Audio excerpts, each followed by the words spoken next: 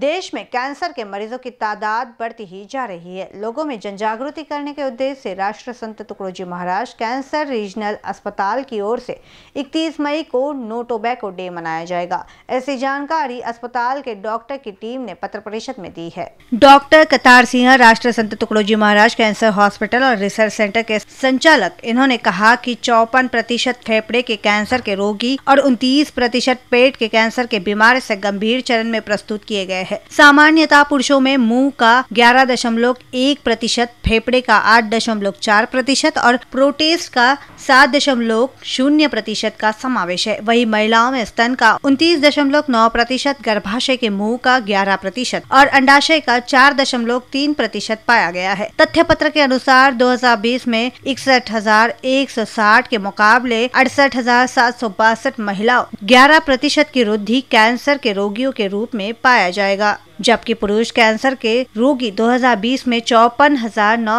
की तुलना में 2025 में इकसठ मतलब दस दशमलव नौ प्रतिशत की वृद्धि होगी। महाराष्ट्र में इकतीस दशमलव चार प्रतिशत लोग तंबाकू का सेवन करते हैं, जहाँ तीन दशमलव चार प्रतिशत सिगरेट पीने वाले हैं और दो दशमलव सात प्रतिशत बीड़ी और सत्ताईस दशमलव छह प्रतिशत लोग धुआँ रहित तंबाकू उत्पाद का उपयोग करते हैं। तंबाकू के कारण होने वाली बीमारी में पहले स्थान पर गाल और स्वर यंत्र के ऊपर के नीचे की जगह और जबान के नीचे का कैंसर शामिल है। नागपुर में एक लाख की आबादी पर इक्यानवे पुरुष और नब्बे महिलाएँ कैंसर से पीड़ित है। डॉक्टर बी के शर्मा, राष्ट्रीय संत टुकड़ोजी कैंसर हॉस्पिटल के मानक चिकित्सक ने कैंसर के बढ़ती संख्या को देखकर चिंता जताई है। उन्होंने बताया कि कैंसर की बढ़ती संख्या के प्रमुख कारणों में से एक तंबाकू जैसे अन्य पदार्थ का सेवन है। तंबाकू से हमारे शरीर में 80 प्रतिशत तक कैंसर की संभावना होती है और 40 प्रतिशत मुँह के कैंसर की संभावना होती है। डब्ल्यूएचओ नियमित रूप से हर साल एक थीम देती है, जिससे पर्यावरण जागरण और जन जागृति होती है। 2022 में तंबाकू निषेध दिवस की थीम पर्यावरण की सुरक्षा है। कैंसर को हम एक सामान्य बीमारी की तरह न ले, कैंसर यह एक महामारी है, जिससे हमें सतर्क रहना चाहिए और दूसरों को भी जागरूक करना चाहिए। ऐसा डॉक्टर कृष्णा सिरमवार राष्ट्र संत तुकडोजी कैसा हॉस्पिटल और रिसर्च सेंटर के सह संचालक द्वारा कहा गया। इस मौके पर बीसीएन समक्ष अस्पताल के डॉक्टरों ने जानकारी दी है। दर्शक, नमस्कार। इस समय में बीसीएन की टीम रीजनल अस्पताल कैंसर में है, जहाँ पे हम आपको बता दें कि आए दिन कैंसर का जो रेशो है काफ़ी ज़्यादा बढ़ रहा है। 2025 तक के 31 लाख इसमें बढ़ोतरी होने का अंदेशा जताया जा रहा है। इस समय में तमाम डॉक्टर की टीम हमारे साथ में जो इकतीस मई को नो टोबैको डे मनाने जा रहे हैं। आइए उनसे बात करते सबसे पहले हम डॉक्टर करतार सिंह साहब से बात करना चाहेंगे। करतार सिंह साहब से ये बताए जिस प्रकार से ये जो कार्यक्रम आयोजित किया गया है, कितना महत्वपूर्ण है लोगों के लिए? नमस्कार। ये जो एंटी टोबैको डे है इंटरनेशनल डे है डब्ल्यूएचओ के द्वारा, इसमें हम लोग ख़ासतौर से तंबाकू से होने वाले जो नुकसान है, इसके द्वारा होने वाला जो कैंसर है, उसके बारे में जागरूकता फैलाते हैं, ताकि लोग है ना, ये समय पे जान जाएँ और इस भयानक, दर्दनाक बीमारी से अपना बचाव कर सकें।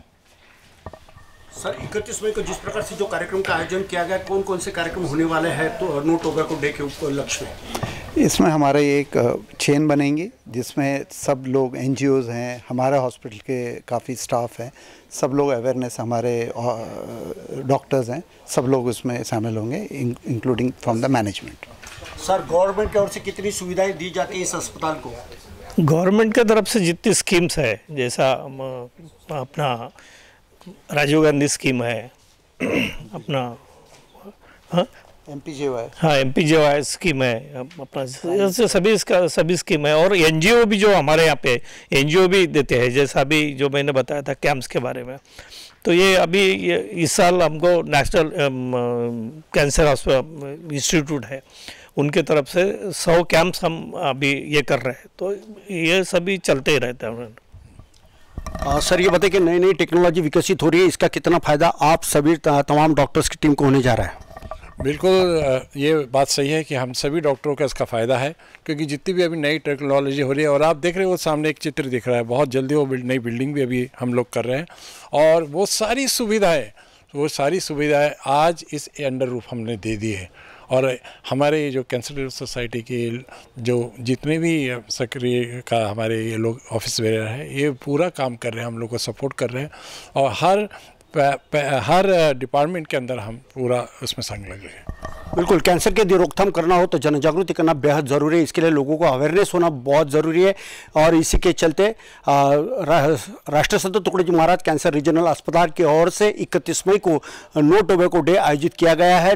दर्शकों ने और लोगों ने आ, अपना पूरा सहयोग दीजिए यही अ, समय की मांग है। और टोबैको को यदि कैंसर टोबैको को पूरी तरह से अगर निकालना हो तो जन जागृति के लिए हम सबका सहयोग बेहद ज़रूरी होना है। राष्ट्रीय संत तुकडोजी महाराज कैंसर रीजनल अस्पताल से कैमरा पर्सन अखिलेश भारद्वाज के साथ संजय मीर बीसी न्यूज़ नागपुर।